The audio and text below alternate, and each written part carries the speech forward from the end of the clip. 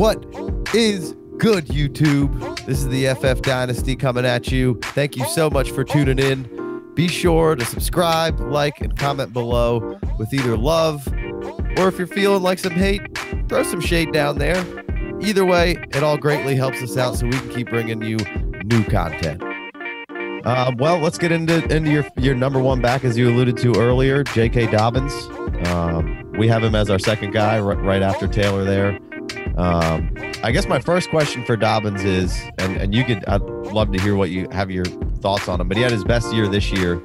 Obviously, there's a good offensive line in play at, at Ohio State most years. This year was pretty decent. Uh, did a good job of rotating guys around. And then they had Justin Fields, who's obviously a huge runner. Is it a coincidence that that Dobbins had his best year and you put a running quarterback in that backfield with him, or did Dobbins just get that much better from one year, or did he did he basically just continuously get better and, and this is just J.K. Dobbins?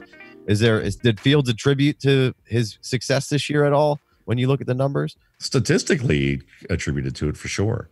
Um, I think from the standpoint of whether was he always good, I think he was always good.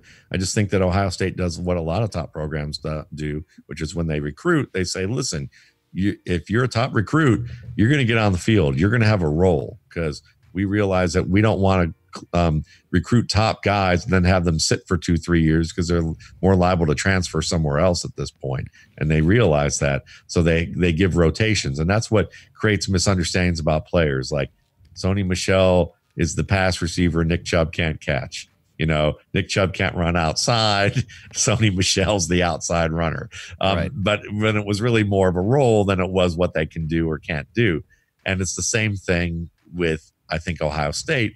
While Mike Weber really didn't, you know, really wasn't a top prospect for the NFL, he was a top prospect coming out of high school.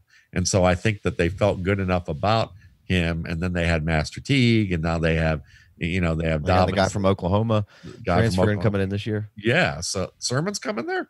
I, I think so. Oh wow. Okay. Is that, is that right? I thought I saw somebody transfer into. Yeah, I know he transferred somewhere, but I didn't know if that was it. But that's that'd be interesting if he is. But the but you know when you look at Dobbins, I watched a lot of him last year. You know, in 2018, and was very impressed with his skills. The TCU game against 28 in 2018, great footwork, really good skill of being able to you know peripherally see on the periphery defenders penetrating, understanding how to get back into the um, you know, behind his blockers and get the most out of a play. He wasn't there. He has some issues sometimes where a bounce plays outside. I joke around. It's like going to the corner store where it's you know they they rely too much on their athletic ability and they get sucked into the goodies that are that are at the corner store, but they're not good for you, you know. Right. Um, and oftentimes in the NFL, it's not very good for you to hit the corner store. Um, so he might have some of that to contend with, but he he has enough speed and enough burst that I think you're going to find that he he's going to win more of those than you might realize. Um, because of because of that high end athletic ability. I don't think people like the fact that he's 209 pounds. They consider you know, big backs. They like the 215 to 225, 230 pound guys the most. Um, but he's well built. He's strong. He has terrific stiff arm. Um, you know, both as a, a, device to ward off people, but also push them to the ground. Um, he understands how to use leverage. He's a good receiver, and he's yeah. someone that is just big play. And his combination of feet to like really like find solutions um, in a very efficient manner. I thought was the best in this class in terms of how he used his footwork and balance. So I, I really the the the decision making issues were more maturity as opposed to not understanding the scheme. And so he reminds me of kind of a mix of Ray Rice and LaDainian Tomlinson. Um, more Rice than Sign me up. Yeah.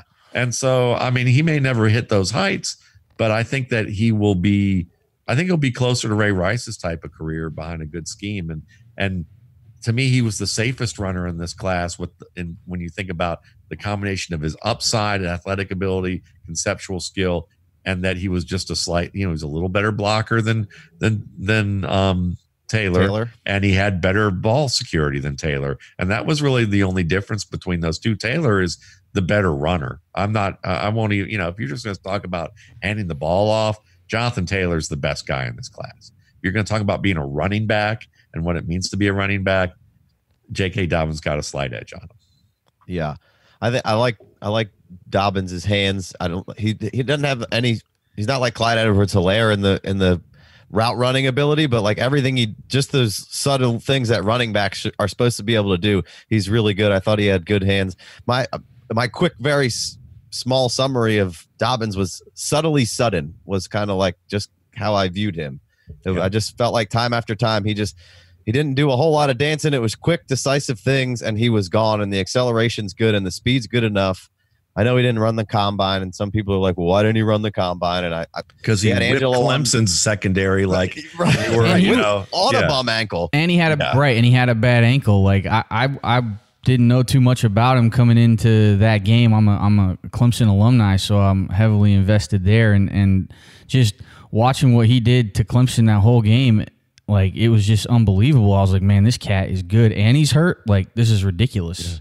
Yeah, my my colleague at the rookie scouting portfolio, Mark Schofield, who's a former Wesleyan quarterback and who does mostly quarterback work, but also writes now at uh, um, USA Today, Wire under Doug Farrar, um, and he's doing some, you know, expanding his repertoire.